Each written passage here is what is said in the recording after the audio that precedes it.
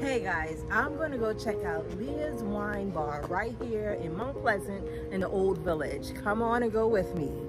Well guys, this is Leah and she's owner of Leeah's Old Village Wine Shop. All right, so Leah, tell me about this Old Village Wine Shop. When did you start this? During the middle of the pandemic, so March 2020. Wow. Yeah. During the pandemic. I did. We were all in lockdown. Um, but the essential businesses were alcohol. Oh my gosh, you were so needed around that time for sure. Absolutely. I was worried about the alcohol being shut down, really. I, like, I don't know. My husband started working from home, and I was like, oh my gosh. You started the wine business, and it's only wine. It's wine and beer. Wine and beer. Yes, okay. so we do have some craft beer. Um, we do. We have taps back there. We also have cans and. Um, because we wanted to make sure that we had a mixture of things, yes. Okay, great. Why did you pick this location? And Old Village, kind of like on the back end, what made you think of this location? Um, we were looking for a location in the South that we felt comfortable in. Mm -hmm. And so Savannah or Charleston.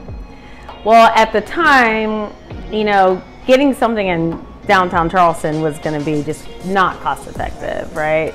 So we found this place and it's like, you know, we want to have our place where if, you know, we didn't sell enough wine, we could still maintain the overhead cost.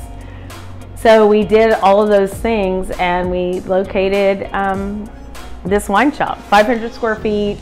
They film movies here, TV shows here. It's amazing. Yeah. So tell me what all you offer. I know you offer small plates. You offer um, chips. You said. Yes. Um, sandwiches. Sandwiches, cheese and charcuterie boards, um, chips when you come in, um, tapenade hummus, those sorts of things. So we're just trying to kind of play around and see what actually everyone likes. I mean, we did open during the pandemic, so we we're just trying to make sure that we're meeting the needs of our clients. So tell me the address here. How can people reach yes. you? So absolutely, we're 115 Pitt Street um, in Mount Pleasant, 29464. Um, if you've ever seen The Notebook or if you've ever seen Outer Banks, this is the street that we're on. Um, also, it is a historical neighborhood. Um, a lot of wonderful activities have happened if you wanted to research Old Village of uh, Mount Pleasant. Awesome. Well, thank you so much, Leah. This has been a pleasure. I've learned so much from you. Thank you so much. I hope that all of the viewers come and check you out. I hope so too. I we want to see everyone coming to visit us, and we're grateful for you to be here with us, and grateful for you to be here with us. So, thank you, Leah. Cheers. Cheers.